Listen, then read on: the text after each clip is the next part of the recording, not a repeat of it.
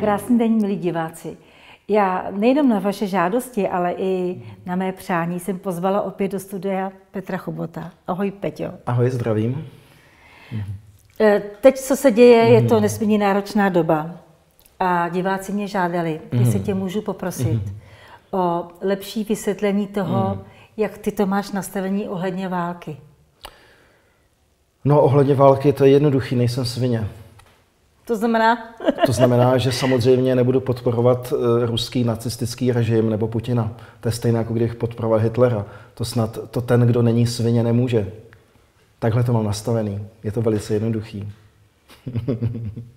a ještě prosím tě, kdyby si řekl, eh, jaký Rusko má skutečný záměr eh, nějakým způsobem, proč vtrhl na Ukrajinu a jaký má skutečný záměr. Lidé, kteří jsou opravdu skvělí, tak eh, buď to v Rusku dnes nesmírně trpí. Někteří jsou už po smrti nebo jsou v koncentračních táborech, ve vězeních. Jiní uprchli. A já teď nebudu úplně odhalovat tady karty, aby toho nezneužila nějaká svině. Jak odměňuje demokracie? Za co? Za osobní práci. Za to, že člověk něco umí.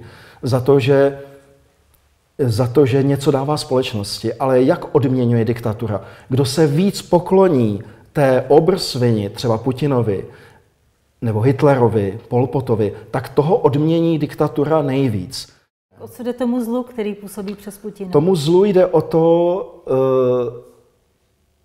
vytvořit zde peklo. Jo? To je cíl toho zla, aby to zlo z nás mohlo čerpat energii.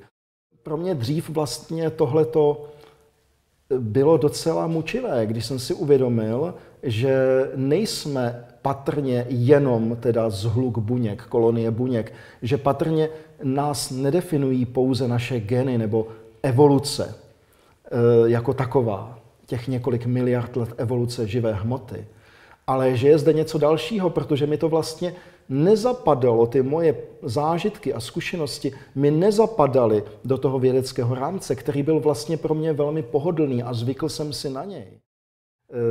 E, Jsme cosi, co patrně je nasimulováno uvnitř vědomí. Ten nosič může být jakýkoliv, že? A v tomto směru se ta simulační teorie nádherně propojuje s tou nejstarší mystikou že se dívali na své tělo zvnějšku. Jistě už od pravěku museli tohleto lidé zažívat. Už nějací kromaňonci a homo naledy a já nevím, jo, nějací tady ti eh, denisované a tady ti dávní lidé, eh, kdy existovalo na zemi více druhů současně lidí.